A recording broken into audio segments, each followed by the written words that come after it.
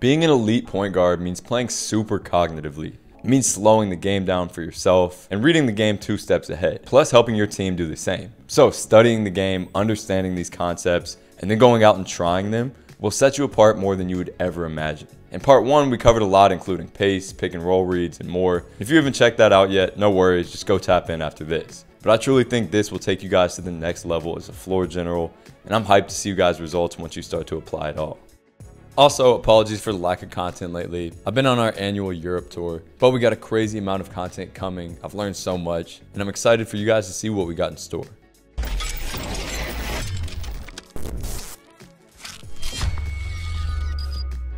So first off is understanding certain advanced patterns in the game that tend to happen over and over again certain opportunities, so to speak, that if you look for in the game, there's a pretty good chance they'll be there. So basketball isn't a perfect science where it's if this happens, then something else happens, but it definitely has these things that happen pretty damn often. And the best point guards have incredible feel and instincts to know when to look for these. So first off is looking over the first option or past the first option. In other words, if your first option to pass it to gets covered up, like this cut here, for example, defender steps in so he can't make the pass, there's probably a teammate open behind them or someone else who is open, like this guy. Why? Well, because the defense knew that this was the first option, like this roller here, they cover it up. Somebody had to leave their man to go do that. So boom, open pass. So this can be a pick and roll. It can be on a drive where your dump off pass gets covered up.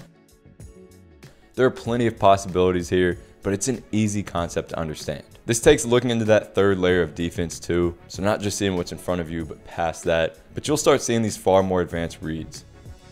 Next are backdoor passes. So if you're dribbling towards a teammate, then there's a shot that they will be open for a backdoor cut. Whether you're dribbling towards them for a handoff or just going across the court, defenders getting distracted is a real possibility, and so is gravity which is when defenders just naturally get pulled towards the ball handler or just some player that they're worried about because they're preoccupied by them. They don't want them to score. They don't want them to get into a good position. So that'll open up these cuts very often. And then sometimes just about being over aggressive and trying to jam that handoff. Then that teammate can just go backdoor from there. Either way, this is something to look for consistently. Next is when to look for deep outlets or kicks up the court to start transition opportunities, which I'd say are most available on one, long rebounds, Number two, bad shots when the other team is kind of pissed off at their teammate and they don't really want to get back eagerly. And three, at the end of long possessions when players are tired and especially when you have momentum on your side. and of course, turnovers. If you get a steal, probably look up court. These are easy opportunities to get your team very efficient points and can even involve telling your teammates like, yo, as soon as we get the rock, just go. Speaking of transition, finding the trailer is a super easy pattern and what we call semi-transition, where the defense is back, but not fully set. Many times they're most focused on getting back to protect the rim, so this trailer coming down will either have a shot or they'll have momentum like here against a scrambled defense. Definitely something to try to find if there's nothing in that first transition push. The next one we briefly touched on in part one when we talked about reads and patterns on the pick and roll, so we won't go over all of these ball screen reads, but I want to talk about one quickly. What happens on aggressive ball screen coverage? Many times when a defender aggressively shows like this, it's not easy to get the ball to the roller here. But if you're able to get the ball out to a player that's one pass away, to make this simple pass, then it's a 4v3 for them. And if they attack this, it can make the game much easier. So definitely start to look for this if you're coming off ball screens as a point guard.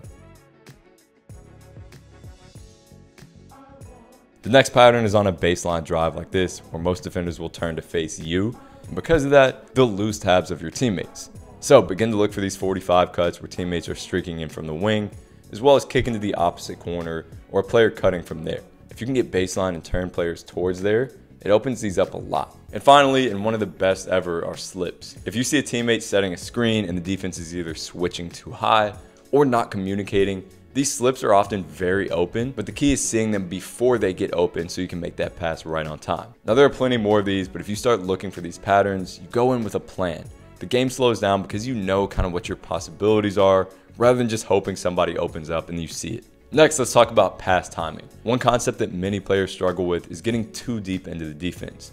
Don't get me wrong, attacking the defense and getting into these areas opens up a lot. But sometimes getting too far in here means more hands around you as you're in the trees, and more time for these defenders to get back once they realize that there's help.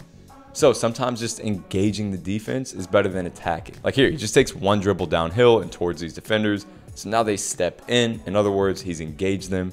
And now this pass is open. Or here where he gets an advantage and then passes before he even gets into the thick of things. Other times, attack hard, but also be able to pass at the beginning or middle of drives as soon as you draw defenders. Again, many players will take an extra dribble to fully draw defenders in or look to score, but notice how these guys are letting that pass fly earlier in the attack or the drive as soon as they notice that they've drawn multiple defenders. Also, keep in mind that redirecting your drives across the court is a great tactic here because if you take this angle, you're not really risking getting too deep into this defense, but you're still creating gravity on these defenders as you go across the court, which is something we talked about in terms of creation lanes in the first video. And pace is huge here too. You don't have to drive as fast as you can. Especially once you have an advantage, you can oftentimes slow down a bit create some contact, take a good angle to allow yourself time to read the play, and give yourself more control and composure. And finally, on this pass timing topic, I want to cover a super simple way to think about playmaking.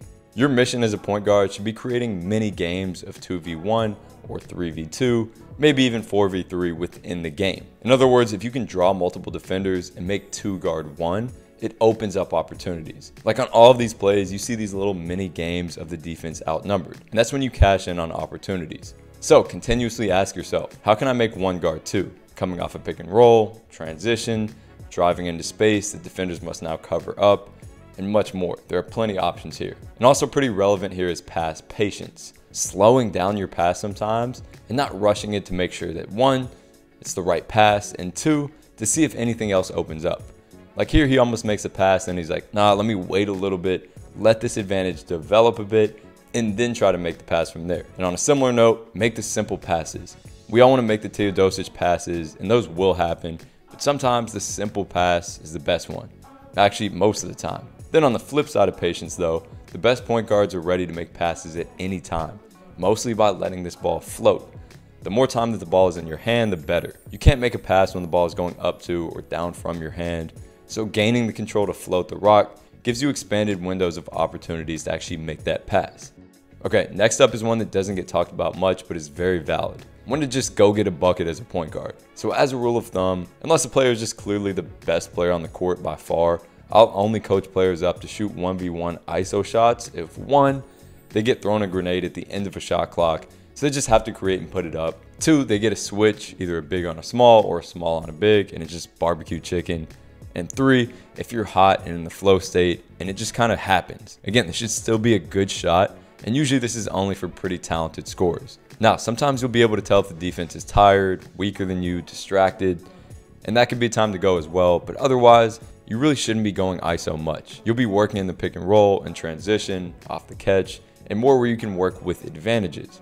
Then coming back to mismatches, this is a very nuanced but important part of being a point guard. If you can consistently create them, it puts your team in a better position. Here are a few ways to create mismatches. Number one, using ball screens and creating quick distance from them. So this guard is like, yo, there's no way I'm getting back to there in time.